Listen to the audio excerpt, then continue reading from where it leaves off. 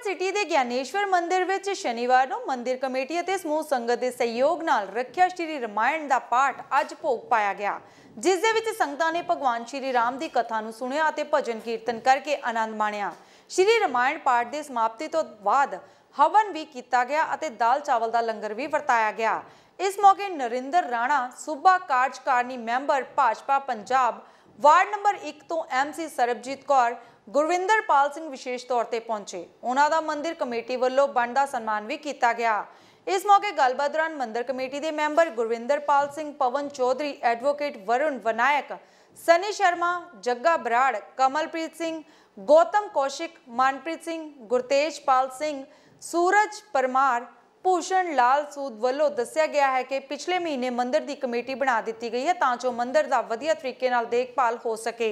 ਮੰਦਿਰ ਕਮੇਟੀ ਨੇ ਕਿਹਾ ਹੈ ਕਿ ਸਾਨੂੰ ਬਿਲਡਰਾਂ ਵੱਲੋਂ ਪੂਰਾ ਸਹਿਯੋਗ ਮਿਲ ਰਿਹਾ ਤੇ ਅੱਗੇ ਵੀ ਅਸੀਂ ਮਿਲ ਕੇ ਮੰਦਿਰ ਦੀ ਬਿਹਤਰੀ ਵਾਸਤੇ ਕੰਮ ਕਰਾਂਗੇ। ਉਹਨਾਂ ਕਿਹਾ ਕਿ ਮੰਦਿਰ ਦੇ ਵਿੱਚ ਮਹਾ ਸ਼ਿਵਰਾਤਰੀ ਵੀ ਧੂਮਧਾਮ ਦੇ ਨਾਲ ਮਨਾਈ ਜਾਵੇਗੀ। ਅੱਜ ਮਾਘੀ ਦੇ ਦਿਹਾੜੇ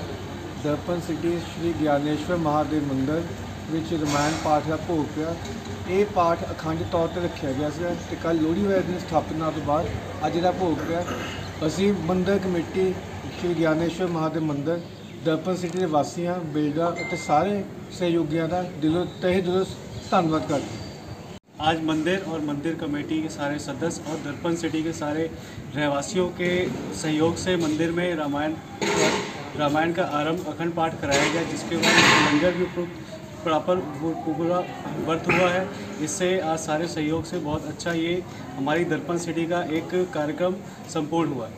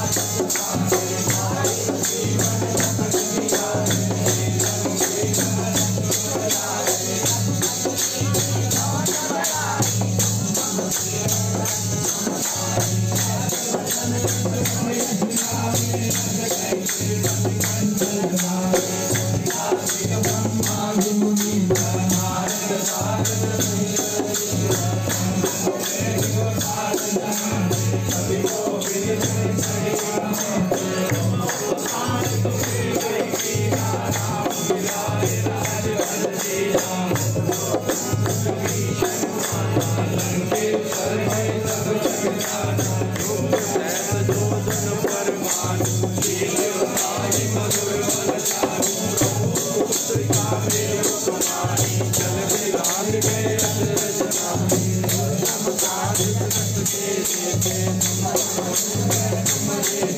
you.